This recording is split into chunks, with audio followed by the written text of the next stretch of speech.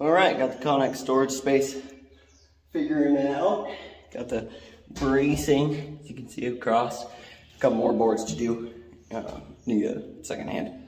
Uh, otherwise, got most of the, the arbor up there. The only other things that are going up there are the two bunk beds for the girls. And then anything else that can really fit that's long. Oh, it's not in our way down on the bottom.